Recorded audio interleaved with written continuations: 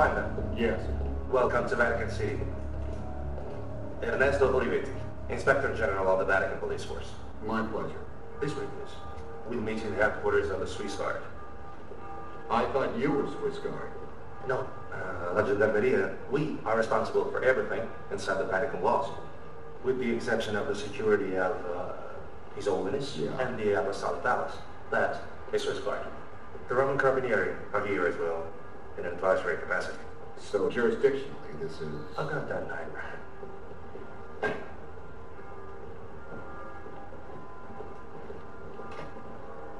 Oh, yes. Pope Pius IX's great castration. I beg your pardon? 1857, Pope Pius IX felt the male form would inspire lust. So he took a hammer and chisel and unmanned hundreds of these statues. The plaster fig leaves were added later. Are you anti-Catholic, Professor Lyman? No. Anti-vandalism.